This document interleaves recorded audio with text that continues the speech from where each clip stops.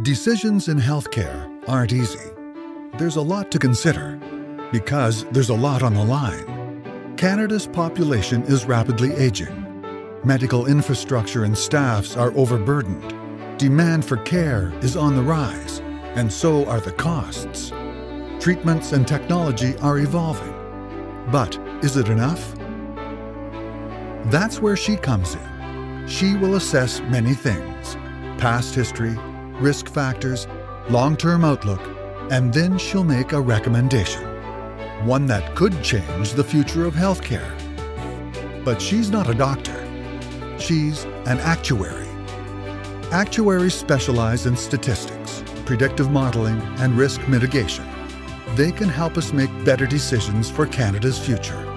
Get a second opinion at cia-ica.ca/healthcare.